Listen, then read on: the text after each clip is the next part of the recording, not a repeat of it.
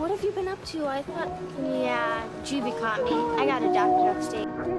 She's just a little girl. Why are you so scared of her? Because she's scary. Don't look back. She's a witch, and we'll burn for what she's done.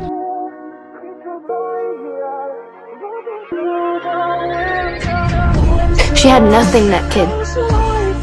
No one else would even I will never be underestimated or ignored ever again. Those men you killed were right.